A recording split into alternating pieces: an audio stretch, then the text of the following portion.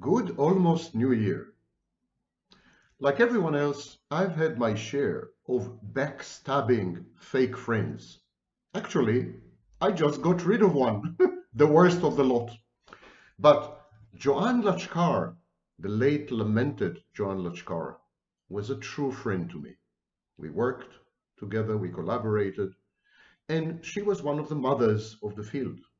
She was the first to describe the dynamics between borderlines and narcissists in her famous book, The Borderline Narcissistic Couple.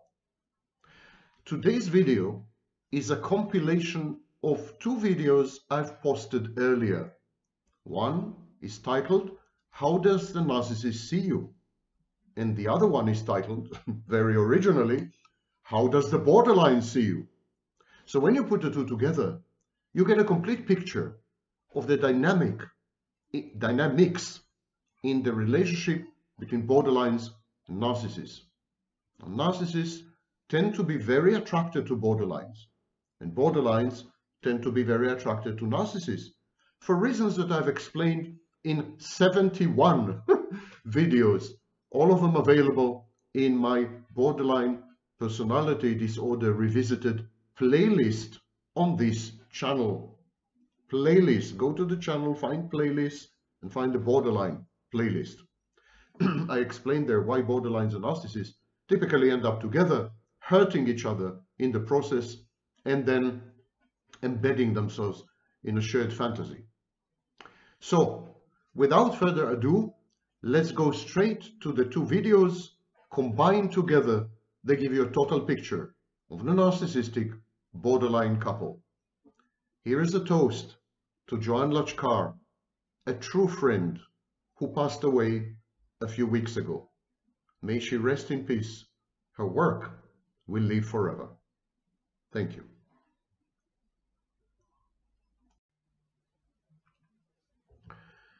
Okay, baby seal and multiple shvanpanim. My name is Sam Vaknin. I'm the author of Malignant Self-Love Narcissism Revisited. And yes, I am a professor of psychology in CIAPS, Center for International Advanced and Professional Studies, the outreach program of the CIAS Consortium of Universities. A few weeks ago, I made a video about how the narcissist sees you. Today, I'm going to tell you how the borderline sees you, her intimate partner. It's going to be a tough ride, very triggering. Mind you, make frequent stops, drink water, think positive thoughts. the borderline is a harrowing experience. Living with a borderline, let alone loving a borderline, is a suicidal mission. But it's intense, it's colorful, it makes you feel alive like nothing else. You had been warned, baby seals, Shoshanim, Shvanpanim, and Shobavim. Look it up. Okay, so there's a borderline in your life, and you are her intimate partner. Yes, yes, yes. Before I get an avalanche of sanctimonious, self-righteous comments, 50% of all borderline personality disorder diagnoses are handed out to men. I propose a new diagnosis covert borderline, which better suits men. Because while the emphasis with borderline women is about emotionality and sexuality, the emphasis in borderline men is more about grandiose power and similar things. Borderline men resemble much more narcissists than borderline women. That's why I'm proposing to break the two apart and to have an emotional dysregulation disorder assigned to women with secondary psychopathy as a self-state and covert borderline, which is a combination of borderline and narcissism assigned to men. Okay, so every gender pronoun here is interchangeable. I'm going to use she.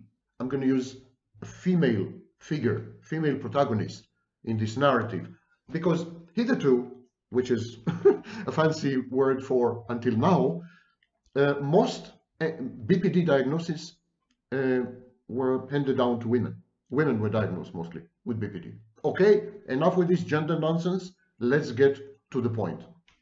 How does borderline see you, her intimate partner? And so, as you well know by now, there are two stages in borderline, and these two stages in the borderline's behavior correspond to her two anxieties. Abandonment anxiety, the clinical term is separation insecurity, and engulfment anxiety. The borderline's point of view is the outcome of her internal dynamics, especially the compulsive need to approach you and then avoid you. I hate you, don't let me go. I love you, I want you dead. I, I detest you, don't ever leave me.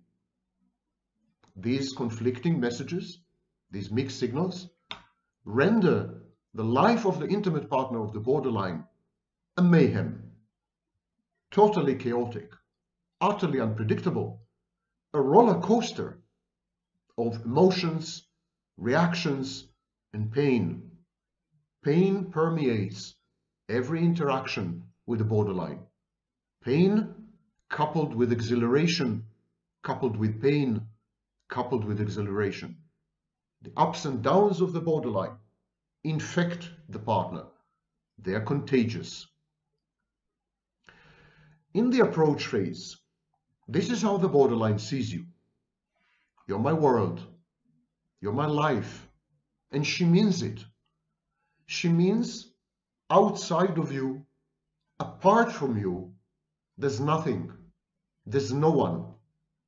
She kind of minimizes herself and projects herself onto you and into you. She renders herself the equivalent of an introject. She wants you to subsume her. She wants you to consume her. This is not exactly merger and fusion, which are common in codependency. This is much more than that. This is identification and introjection. It's an infantile process. The borderline is intensely childlike, which provokes in you paternal or parental reactions. The borderline parentifies you. You're my world and you're my life because I don't know any better, because I don't have any other access, because you are the vect vector through which I exist. A raison d'être, to use my antiquated French. The borderline sees you as a savior. She foists on you the role of a rescuer. You will save me from myself, she says. I'm horrible. I'm intolerable. I'm poison. I ruin everything for myself and for others. And you are going to change all this. You're going to save me from myself. You're going to save me from others. And you're going to save others from me. You're going to be the buffer, the firewall between me and my pernicious radioactive impact on the world around me. Everything, the borderline tells you, everything is meaningless without you.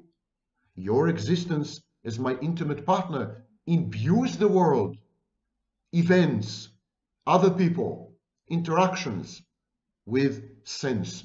You, my intimate partner, you make sense of reality for me. You are my reality testing. The borderline is likely to often ask you, do you think the same?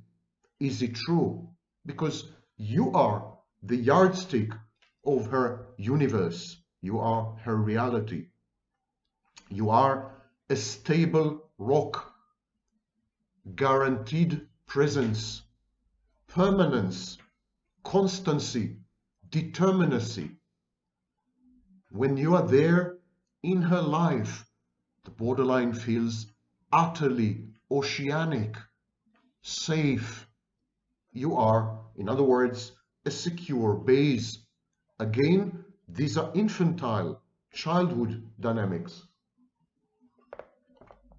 But you have other roles in the borderline's life during the approach phase. Don't ever mix your drinks.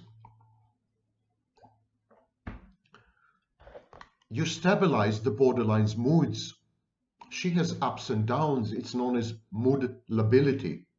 She's depressive and she's a bit manic, which is a reason why many diagnosticians confuse and conflate borderline personality disorder with bipolar disorder. Wrong, of course. The first is a personality disorder. The second, the latter, is a mood disorder. But people with borderline personality disorder cycle all the time. And this rapid cycling of moods, affects, cognitions, decisions, choices, values, behaviors, reactions, this render the borderline identity-less. This is called identity disturbance. It's as if she has no core, no kernel, no stable um, atom inside her, which kind of kind of uh, oscillates and determines her time. The borderline is a river in flux, an ephemeral cloud. And it is the role of the intimate partner, you, to stabilize, says the borderline, to stabilize my moods. You should regulate your emotions because with you, I feel safe. And with you, I feel whole. I feel completed. Without you, I'm partial. Without you, I am almost dead. Parts of me decay and decompose and fall apart and disintegrate without you. You are the élan vital, you are the animating force within me, says the borderline. When you are with me, committed to me, monopolized by me, 100% mine, possessed by me, owned by me, inside me in every way, sexual and otherwise, you are me. But you are a better me. You're a stronger me. You're more stable me. And so I can merge with you, thus improving my functionality, allowing me to cope, to survive, to somehow go through life. Because I don't like life. I hate life and I hate who I am in life. I need you to live another life for me, vicariously, by proxy, and I will give my life for you. I will sacrifice myself, self-sacrificial. It's the same with the narcissist, by the way. He sacrifices his true self for a false self. The borderline also has a false self, but her false self merges with the intimate partner, a process known as external regulation. So gradually, you are sucked into the vortex of the borderline. You begin to feel responsible for her moods, her emotions, even her cognitions. She pretends to be dependent on you, all the time fostering dependency in you. You are becoming codependent on the borderline because she can't live without you. She can't survive without you. You feel responsible. She's very childlike. She's very vulnerable. She cries. Her beautiful eyes tear up anytime you threaten to leave or to go. And you just can't take it. She pushes all your buttons. She leverages your softness and your empathy. Or your need to be needed. Or your grandiosity. The borderline is adept at finding, finding all the chinks in your armor and then invading you and penetrating you like no other. The borderline says, I'm bad. I'm evil. I'm unworthy. I'm poisonous. I'm a bad object. But with you, my intimate partner, I feel good. I feel worthy because you accept me as I am, because you love me as I am, because you see me like no other, and because you enable and empower every part of me, every hue and every frequency in my spectrum. I come, I become more through you. I self-actualize through your agency. Borderline borrows your agency in order to become more self-efficacious. But in the process, she renders you less agentic. And this is merely the approach side. now we are heading into the real tumult, the avoidance. You can't win with a borderline. You love her, you're intimate with her, you lose her. You're cold and detached and neutral and therapeutic and aloof, you lose her. You try to help her too much, give her advice, direct her, you lose her. You ignore her, you let her live her own life, you lose her. It's a lose-lose proposition or a lose-win proposition in some cases, but usually a lose-lose pro proposition. There's no winning strategy with a borderline. And some people are addicted to the ride, to the drama, to the roller coaster. They don't care about the borderline. They, they, want, they want to experience the borderline's dysregulation vicariously. They love the ups and downs. They adore waking up in the morning not knowing what the day will bring. Borderline guarantees this serendipity, this unpredictability, this inconstancy, impermanence, and indeterminacy. Borderline is a bag full of surprises, a never-ending adventure, a risk, a novelty, a danger lurking in your own bed. How is this resistible? It's not. It's not even for healthy people. So approach is always followed by avoidance regardless of your behavior, behavioral choices, and regardless of your strategies with the borderline. Approach and avoidance, repetition, compulsion in the borderline is, as the name implies, a compulsion. It's out of the borderline's control and it is not mitigated or affected by any external factors or parameters. Some stage, the borderline says, I'm overwhelmed by pain. You are hurting me, owing to your rejection and abandonment. And yet the borderline tends to interpret almost everything as a rejection. Almost any behavior is a form of abandonment. You are too long on the phone with a business associate you're abandoning and rejecting. Go on a business trip. You're abandoning and rejecting. You have your own set of friends. You're abandoning and rejecting. You cast a glance at a beautiful woman in a restaurant. You're abandoning and rejecting. You refuse to countenance and accept the borderline's egregious misconduct and bad behavior. You're abandoning and rejecting. You disagree with the borderline more than once. You're abandoning and rejecting. Everything is abandonment and rejection in the borderline's eyes. And she often projects abandonment and rejection onto you. It is she who wants to abandon and reject you. And she projects it onto you. She anticipates abandonment and rejection. After all, she is a bad object. She is unworthy. She's corrupt. She's unlovable. She's inadequate. Why would you not abandon and reject her? It's inevitable, ineluctable that you should. So she prepares herself. She preemptively cheats on you. She prophylactically abandons you first before you abandon her. You're not protective, she tells you. You don't love me, really? Your love is not true. You don't care about me. You found someone else to take my place. You're disloyal. You're looking for alternatives. And no amount of proofs to the contrary, no amount of evidentiary presentation would help you. She's made up her mind.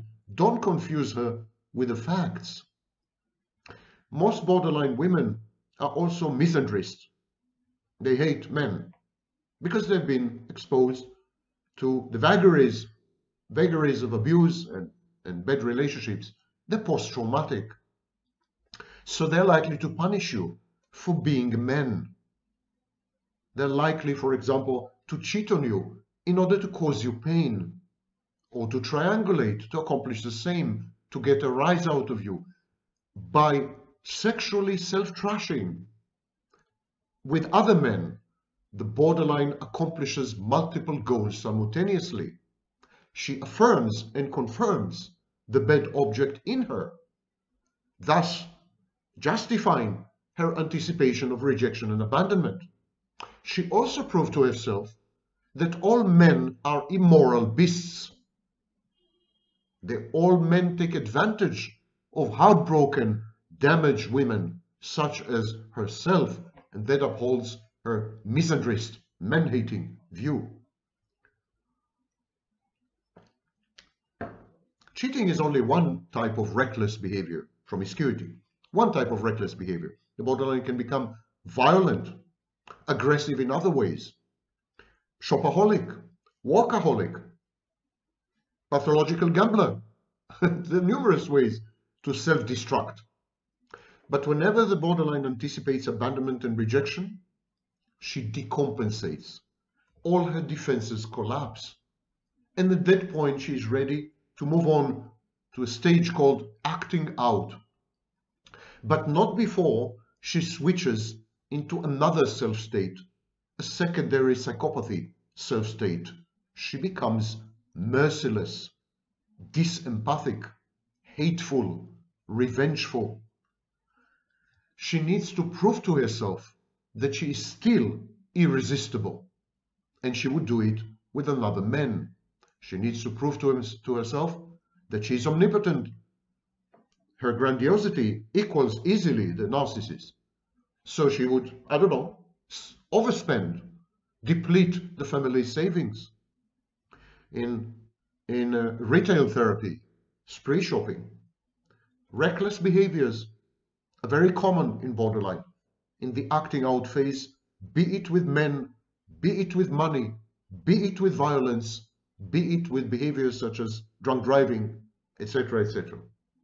At some point, the borderline decides upon the following sequence. You're a man. She's a bad object. Because you're a man and therefore impervious to the needs, emotions, and love of a woman, because you're a man, you're evil, you're a beast, you're immoral, and because she's a bad object, you're going to abandon her, you're going to reject her. She needs to strike first. So she would decompensate, she would switch to a psychopathic state and she would act out. And while she does this, she experiences triple dissociation. Three types of dissociation amnesia, depersonalization, and derealization. And the borderline experiences typically two or all three during a period of acting out. Amnesia she deletes the memories. Simply, she has no access to them. She has very blurred memories, even when she's not drunk. Autopilot, depersonalization. She feels that she is not inside her body, that it's just, she's just going through the motions, that her body is some kind of independent entity taking on uh, a life of its own depersonalization. It's not me. I'm not there. This is not happening to me. I'm not doing this.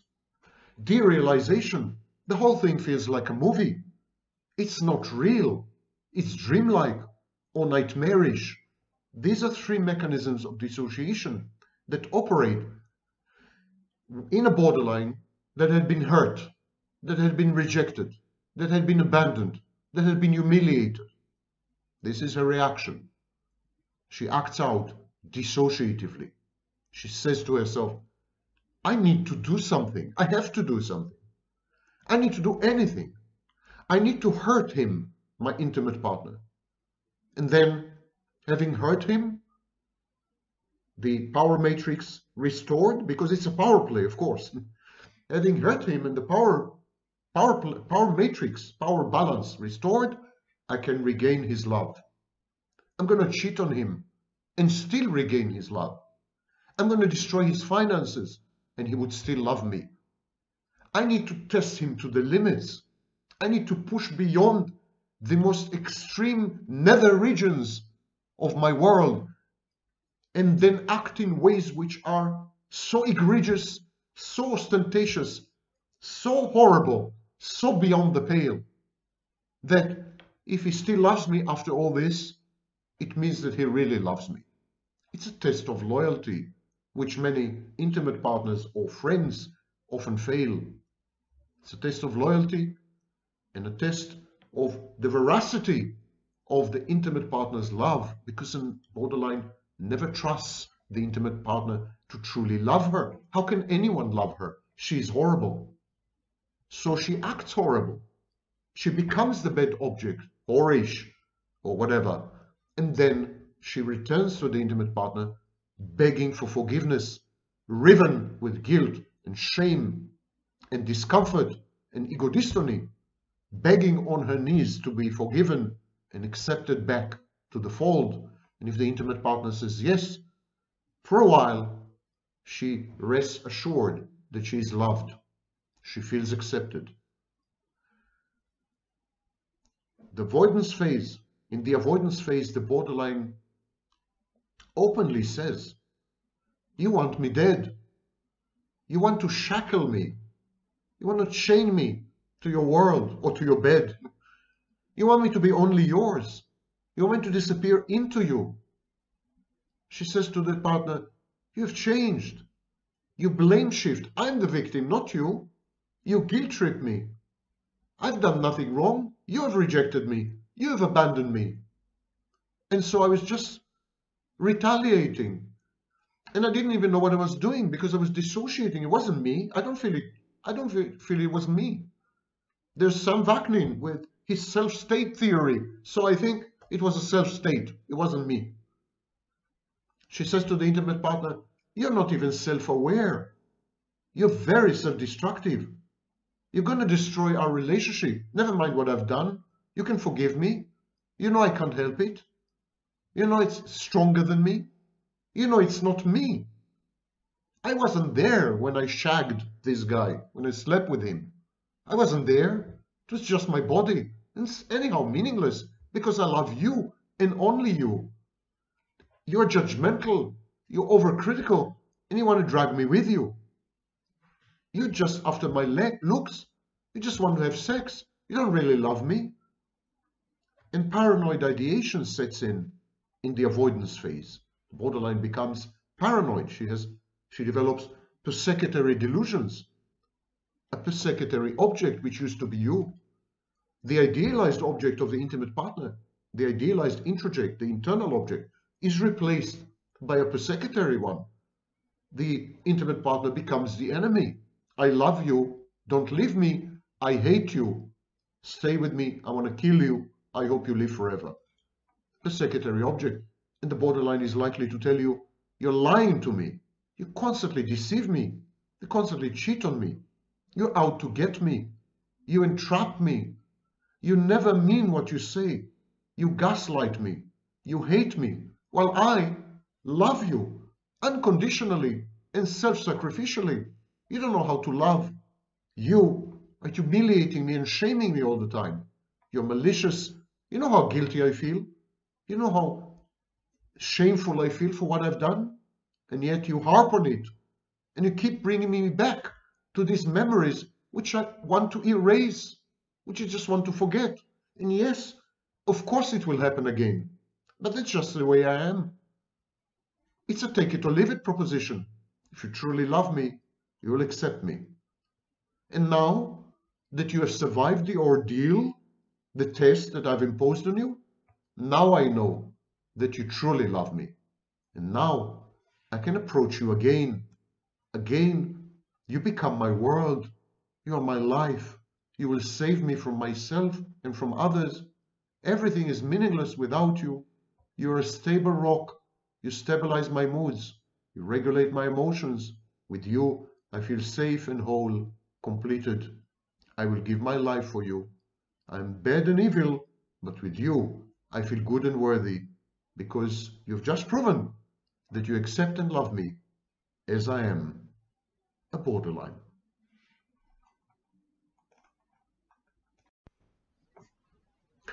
It may come as a shock to you but the narcissist doesn't see you the way you see yourself. The narcissist doesn't see himself the way you see him. And frankly, it's doubtful whether the narcissist sees anyone at all. My name is Sam Vaknin. I'm the smiling blue professor of psychology and the author of the inestimable Malignant Self-Love, Narcissism Revisited, the Bible of the field, and the book that coined the phrase narcissistic abuse. Today we're going to discuss the narcissist's point of view, how he perceives you and the relationship. Are you truly a significant other, or maybe just an insignificant other? Are you an intimate partner? Is there intimacy and is there partnership in the relationship with the narcissist? But most importantly, what does he think about you secretly in the inner recesses of his undisclosed mind, the occult areas of his demented soul? I know you like this. you like to think that narcissists are possessed by demons. They're not possessed by demons. They are demons. I'm kidding. I'm just kidding. Narcissists are flawed human beings with lacking equipment. nothing more, nothing less. Terrified, traumatized kids who throw temper tantrums and can't perceive other people as separate from them. And so let's delve straight in. Straight in. When the narcissist sees you for the first time, he takes a snapshot of you, he internalizes a snapshot, and he continues to interact with the snapshot. Blah, blah, blah. You know all this from previous videos. He also photoshops the snapshot, a process known as idealization. By idealizing you, he can idealize himself. If you are perfect and he is in possession of a perfect object, you, then he is perfect. Or maybe even uber perfect, more perfect than even you. But then gradually life intervenes, reality intrudes, you begin to deviate and diverge from the idealized snapshot, which pisses the narcissist off. And then he begins to change the way he sees you, the external object. Mind you, the internal object, the introject, your representation in the narcissist's mind, the snapshot, the avatar, that doesn't change until very late in the relationship but the way he perceives you begins to change. He cannot, he cannot really accept you as separate from him. You are an extension, you're an organ, but it's like someone with a chronic illness who is very angry at his heart or his liver or his lungs because they give him trouble. So when you get when you get chronically ill in, with your your kidneys, for example, you may develop a hate-love relationship with your kidneys. You may resent your kidneys for giving you a tough time. Same, it's the same thing. That's how the narcissist sees you. Another arm, another leg, if you're extremely lucky, another heart. The narcissist, first of all, is likely to convince himself that he had judged you correctly when you have met. He needs to preserve his grandiosity. The narcissist never make, makes mistakes. The narcissist is never wrong. The narcissist is infallible. It's inconceivable that he has misjudged you, for example. So he's telling him, he tells himself, I judged her correctly and appropriately when I met her. My perception of her was right. My judgment of people is intact. Nothing's wrong with me. She has changed. She has changed. Why has she changed? Well, I don't know, the influence of bad friends. Her family is poisoning her against me um, circumstances, she is mentally ill or she is physically uh, ill, the medication she's taking, um, exposure to left-wing radical ideas in, in college, what have you. Whatever the reason may be, uh, the narcissist convinces himself that you are being transformed, that you're in the process of metamorphosizing into another, another person. And so the gap between the snapshot and you in reality, the gap between your introject, your the internal object that stands in for you in the narcissist's mind and you, this gap grows not only because of what you are doing. This abyss opens up also because of the internal narrative of the narcissist. And this narrative is about how you are changing for the worse. Narcissists are paranoid. They have persecutory delusions. They regard the world as a hostile place out to get them, as Donald Trump. The second uh, process that happens with the narcissist, his point of view, is that you constantly blame shift. He thinks you're guilty. He thinks you've done something wrong. He thinks he is immaculate and innocuous and innocent. You keep blaming him for things. You keep assigning to him responsibility and guilt and accountability. And he resents this. He thinks you're manipulating him. He thinks you're playing with his mind. He thinks that's a power play and a mind game that you are that you have embarked on. He is bewildered. He's disoriented. You are his mother. You're a mother figure. Why are you doing this to him? And so, whenever you disagree with a narcissist, or criticize something, or suggest something, or prefer or suggest, uh, give advice, the narcissist, or, or, or even offer help, the narcissist perceives, perceives this as shifting the blame counterfactually. The facts are in the narcissist's mind that he is blameless, that he is guiltless, that he doesn't deserve any of this, and that what you're doing borders on malice. Mind you, everything the narcissist thinks about you, everything he says about you, may be true. even narcissists get it right from time to time. And because it may be true, even in principle, it provokes in you profound self-doubt. You begin to ask yourself, maybe he's right. Maybe he has a point. Maybe I'm the narcissist. Maybe I'm misbehaving. Maybe I'm too onerous, ordinary, tough, harsh, strict. Maybe I should change my ways. And this is how the narcissist molds you, makes you malleable and mutable.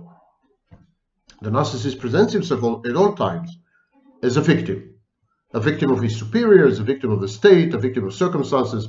He's, he was born in the wrong period in history. Is and, and you're, of course, swept in this tsunami wave of self-imputed victimhood. Today, it's known as um, TIV. It's a new personality construct. And so the narcissist casts himself as, the, as a victim. And he does this because it affords him the high moral ground and it's a tool of manipulation. It's also an integral part of his confabulation. He re rewrites his history. He recomposes his narrative in a way that casts him in the good in a good light and all others in a bad light. He's the angel, all the others are demons. He has always been right, they have always been wrong. He deserved much more, they got it he has been discriminated against, underappreciated, and generally mistreated.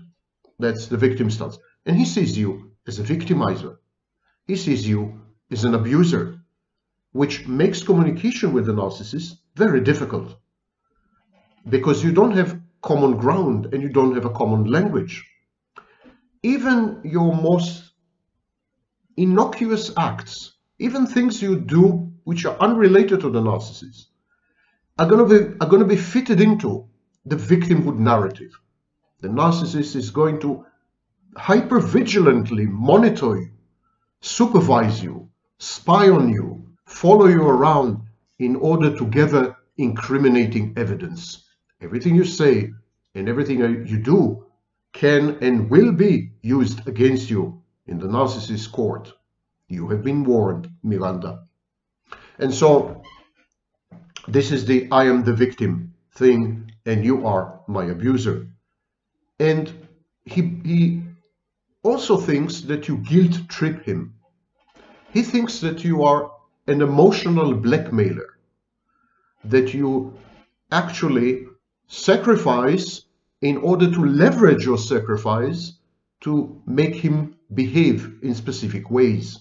He thinks that you love him because you want something from him. It's not real love, it's conditional love. It's manipulative love, if it is love at all. He thinks you make him feel guilty because by making him feel guilty, you can modify his behaviors and you, you're goal oriented. In his eyes, you're very, very close to a psychopath. And that is regardless of how empathic you are, how caring, how compassionate, and how loving. Don't think you can, by caring for the narcissist and by sharing with the narcissist, you can somehow change his mindset or state of mind. You can't. Because it's not about you.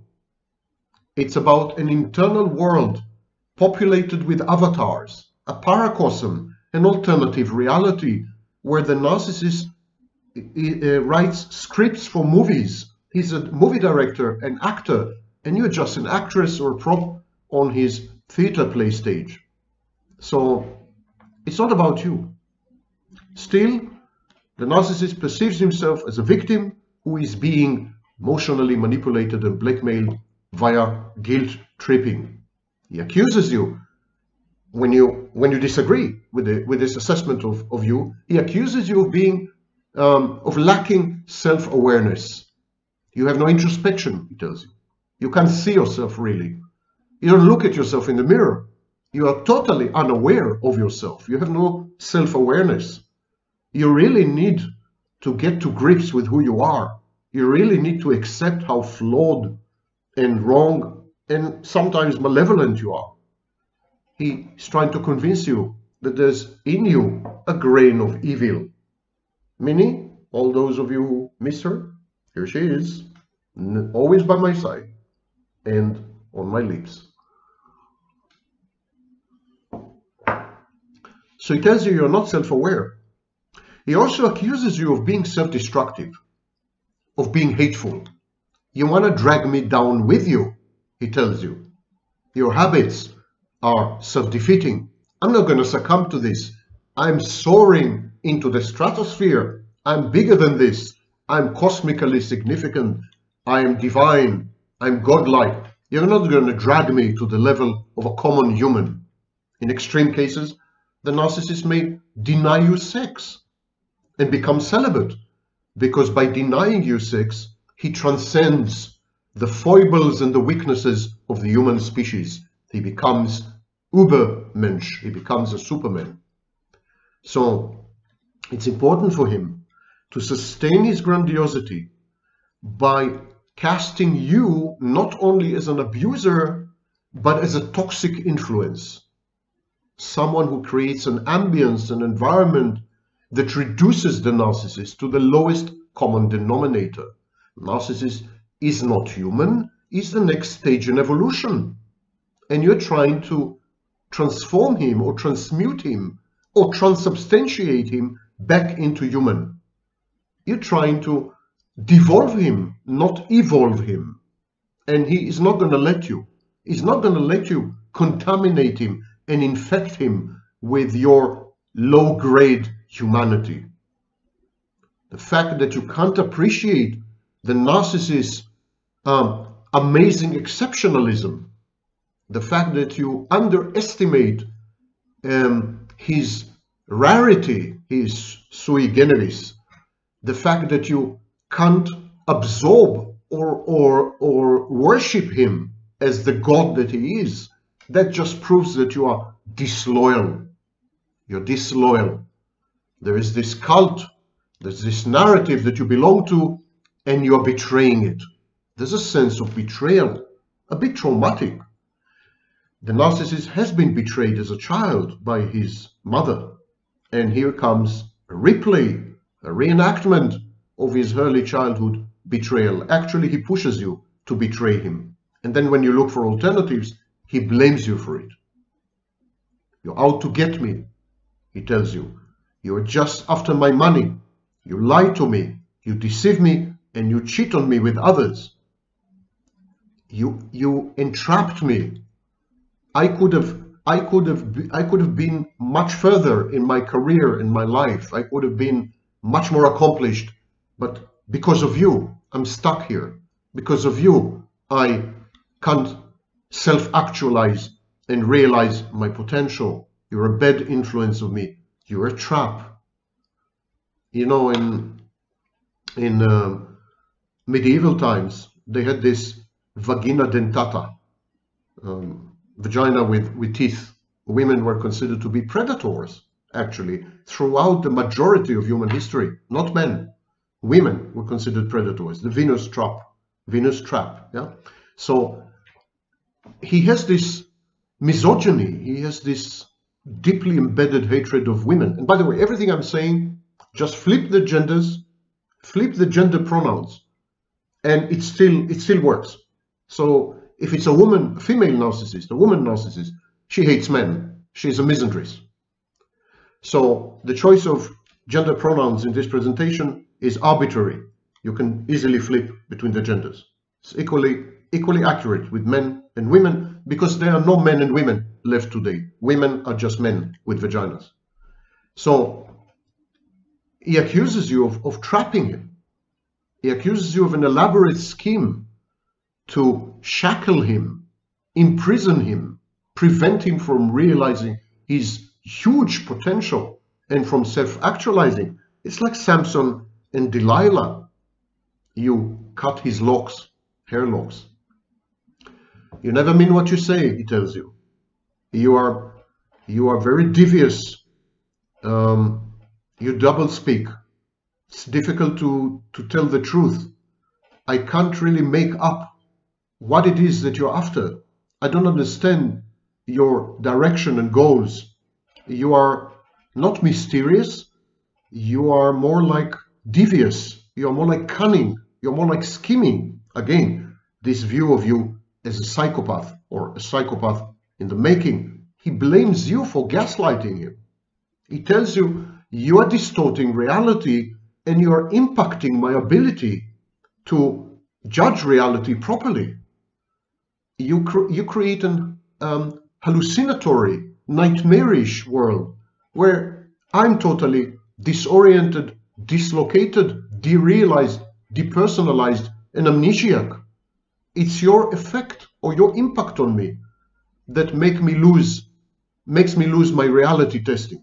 When I'm with you, I feel totally um, flat, totally empty, sometimes as if I'm dead or unreal.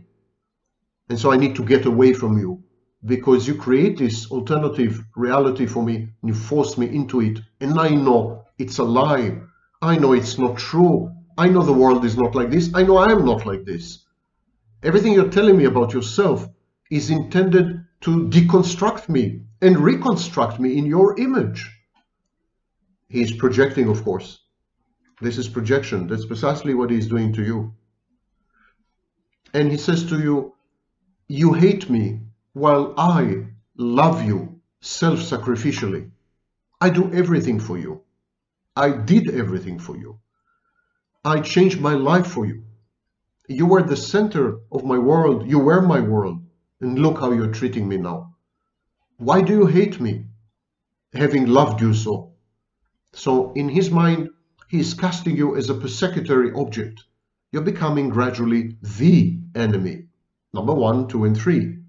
He needs you to become the enemy because he needs to discard you, because he needs to separate from the from his original mother via you, the substitute mother. I've explained this in previous videos. Watch my um, interview with Richard Grannon about the fantasy lives of narcissists and borderlines. So he he is caught in these convoluted dynamics where on the one hand you're you're the mother figure and on the other hand he needs to hate you and discard you in order to separate from the mother figure and finally become an adult individual. On the one hand, it's very promising and very alluring, and so devaluing and discarding you is an irresistible proposition. On the other hand, it's very terrifying to abandon mother or to be abandoned by her. He needs a secure base, a sense of safety, so he keeps coming back and forth, and that is the narcissist approach, avoidance, hot and cold, intermittent reinforcement. Finally, he accuses you of humiliating him, shaming him, especially in front of peers, mortifying him. He begins to truly hate you. He begins to truly hate you and plot, plot revenge in many cases. That is at the stage where you should bail out because he's no longer with us. He has lost touch with reality. He is immersed in his internal murky dynamics, there's nothing further you can do for him. He is gone. He is gone far away, where you could never reach.